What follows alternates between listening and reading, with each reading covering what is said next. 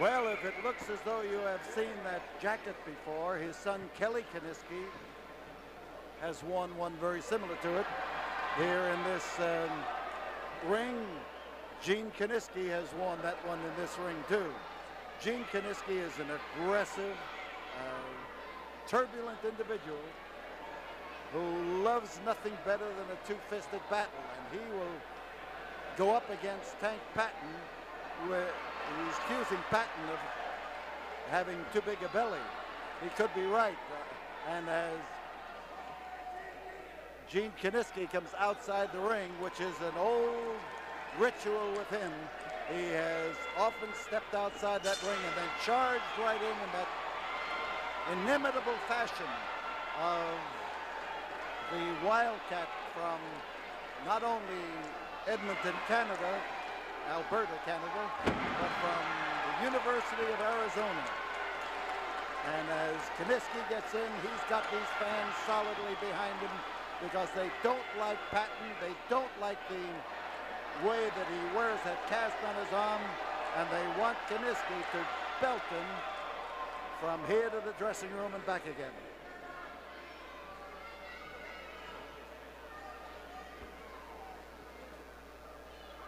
Tank Patton stung him, but that's all.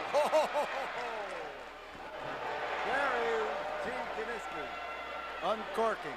I tell you, as the world's heavyweight champion, Kiniski was always wide open, rough, rugged, ready to mix it, ready to go at it.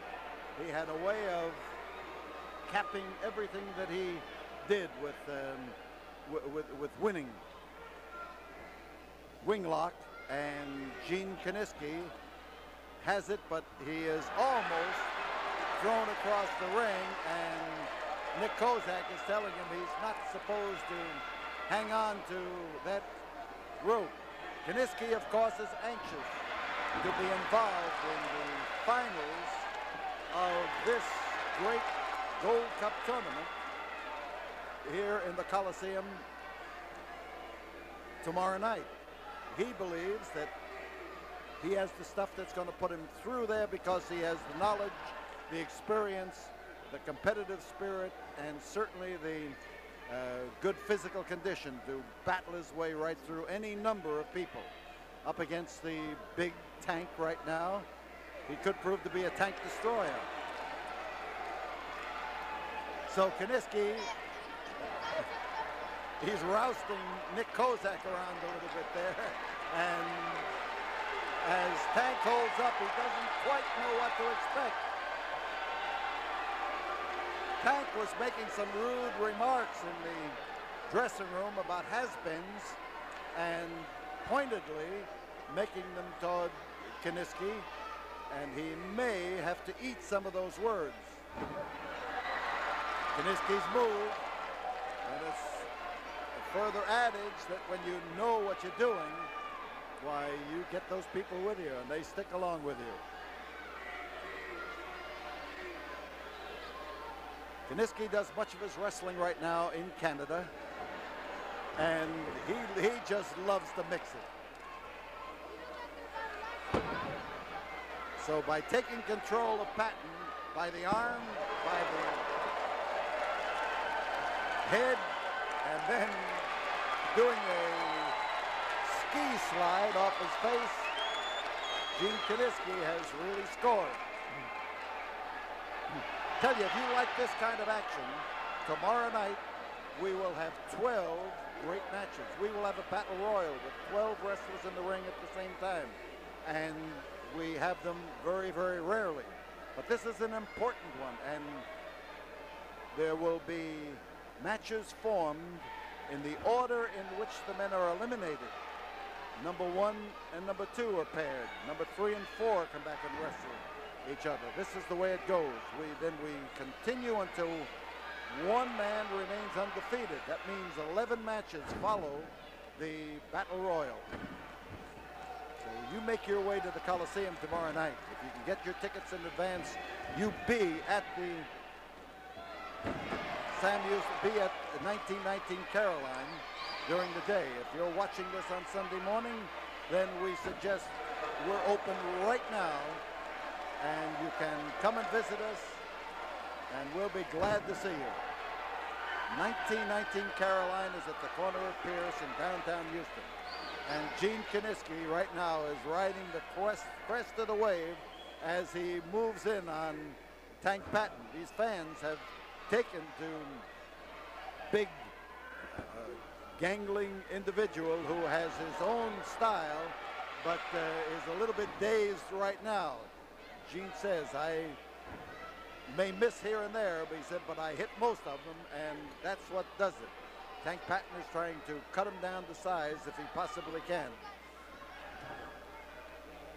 So Gene taking the punishment in the corner, Patton trying to set him up, the five minute mark being called, and as Patton slams him over, he comes up with a reverse chin lock. Patton in behind. It is not necessarily a chokehold. The manner in which he is, is holding the grip with the chin in the crook of the arm precludes it being a chokehold. We've got coverage here tonight from Japan. Japanese magazines have sent a photographer to cover the three days of our tournament here in Houston. There's the bear hug as Gene Kiniski picks the 300 pounds of Tank Patton first up off the mat and then gets him standing, dangling on his toes. And Patton is caught in the ropes and whoa! that knee lift was always one of the favorite moves of Gene Kiniski as challenger for the world title and then as world's heavyweight champion. And Patton wants to see if he can keep Kiniski from getting back up there and getting a, rest without, uh, without punishment.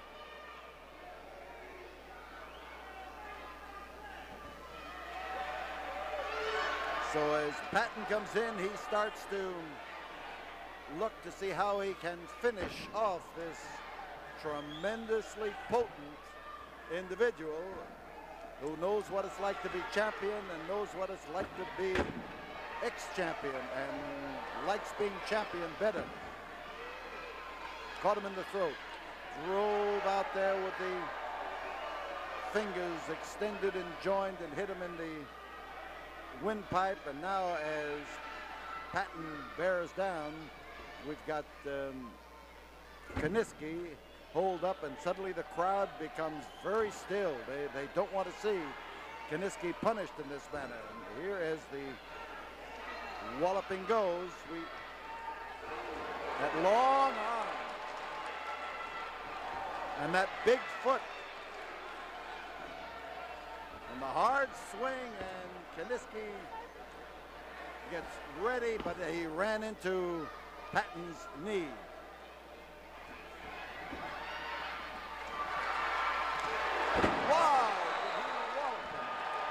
Top is Gene Kiniski. There's two. There's three. We've got a win for Gene Kiniski. And he has continued beautifully.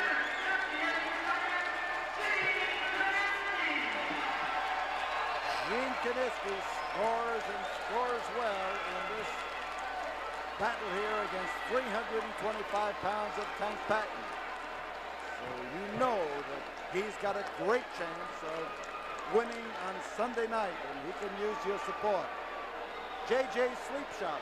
Well, they're the kind of a place that always has a bargain that's going to please you.